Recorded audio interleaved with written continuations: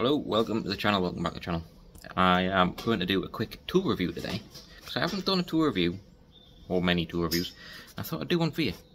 Today I'm going to be using our Draper Expert, it's an induction heating tool, Draper Expert induction heating tool, that's the number 80808. It's the 1 kVA one, I think. 99% sure it is. It is an absolute cracking piece of kit. This is the case you get. We bought ours from Toolstation. This is the kit you get. You can tell I've used it a bit. You get this one, which is like flat, so it can go guns into tighter spaces a bit easier. But this which is a nice tight one, which you can use on the likes of um, truck ends. Really well on truck ends and ball joints because because it's a flameless heat.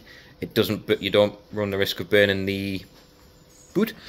And then you also get this one which is very handy. It's a flexible one for if you can't get onto it like you got want to wrap it around the tie rod you can do that. It's really good really good.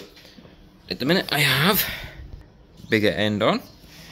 This is the tool so you got your machine here which you plug into your three pin plug you got your on off switch nice and simple to use. You got your shoulder strap because you need it because you throw it over your shoulder.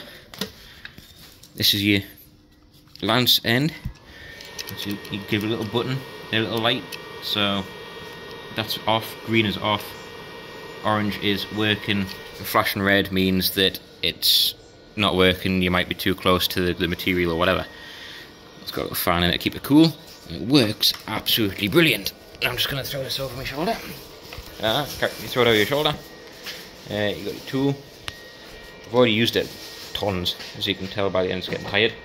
And this is not a paid promotion or anything like that. No, we paid this alright, so it's a genuine, genuine review. It's not here, which uh, you can't really see it head on. There you go, I've got the lamp on. You can see that is a very nasty looking exhaust exhaust clamp bulb. So I'm going to warm it up. What I like to do is I like to warm them up, get my wire brush, which is still over there, wire brush it off, takes the loose off, and then warm it up again so that it's all glowing red, and then wind them off. And with this tool, it takes seconds, and it's super safe. So, two seconds.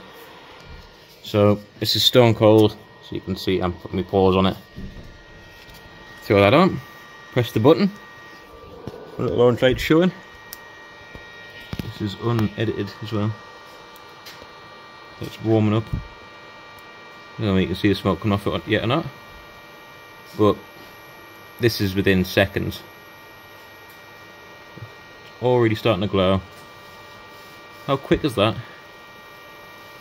Now if you're doing that with a burner, a torch, oxyacetylene, it would take a lot, lot, lot, lot longer than that, and you'd have to worry about where you're pointing the flame. Then also, when you're done, you take it off, you hang it down by your side. Get me wire brush. Knock the crap off. Ow. Best to wear gloves, but I'm not, because I'm silly. There we go.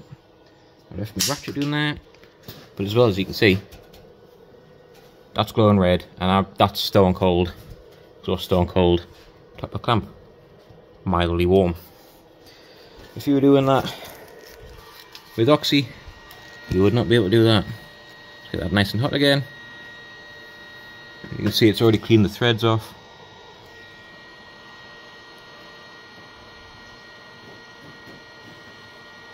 It's nice and hot.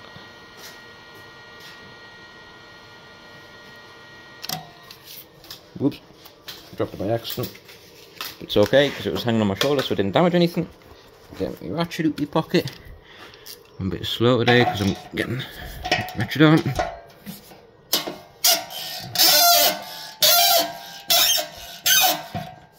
Ow.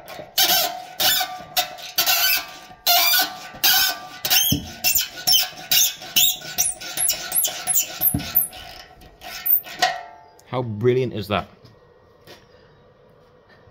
That is I purposely didn't shorten the video, edit the video at all, so you can see that was just the process and how good it is. It's a cracking piece of kit, and I genuinely worth its weight in gold. Makes life a million times easier for a million jobs. Well worth the well worth the, the expenditure. You'll you'll save so much time if you do use it. It's also safe and it goes in the carry case. It all packs away nicely. So if you're mobile in the van, you can put it in away. It stays nice, secure, and you just go the case, grab it, and walk out. So yeah, hope that helps. And if you have any questions, drop a comment in below, and I'll see if I can answer it. Or if you need another video of similar thing, let me know. And yeah, if it helps, thumbs up and like it and comment. Let me know if you enjoyed the video. And don't forget to, whoops, broke something. Uh, don't forget to like and subscribe because I will try and get some more of these sort of videos done as well as my other content with the likes of restoring the RF and the Scammells and Volvos and old vans and stuff. Hope you hope that helps and we'll catch you all soon.